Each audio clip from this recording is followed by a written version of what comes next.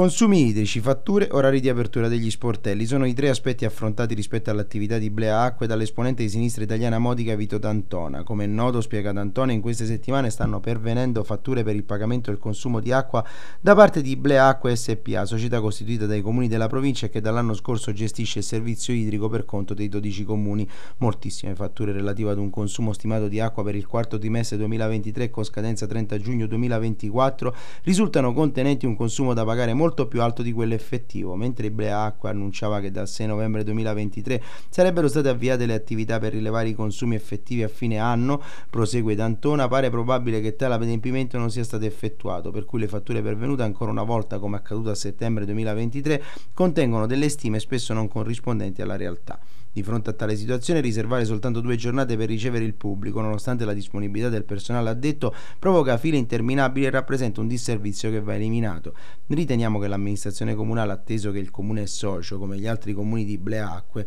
debba agire tempestivamente a tutela dei propri cittadini, intervenendo sulla società, chiedendo l'immediata sospensione della scadenza delle fatture emesse in queste settimane, procedere alla lettura dei contatori ed all'emissione delle fatture esatte, conclude l'esponente di sinistra italiana Modica, pretendendo inoltre più giornate di apertura degli sportelli per ricevere l'utenza.